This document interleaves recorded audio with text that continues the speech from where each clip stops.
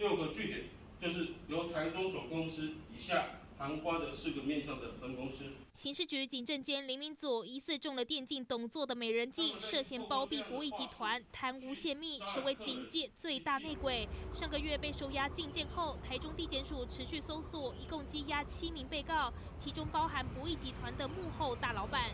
陈正谷经常透过手机跟林明佐联系，早年靠着电玩捕鱼机还捞五百亿元，后来改经营大型赌博网站，从事国内外数十种博弈游戏，号称中台湾赌王，外传身价上百亿元。而他的左右手也跟着收押进监，曾担任过电视台记者。对不起，退后一下好大哥，谢谢谢谢。实习男子的妹婿就是台中地检署前主任检察官，现为某地检署的检察长，黑白两道混得开。十七年前。协助拍摄黑道帮派分子周正宝的亮枪恐吓影片，引发社会骚动。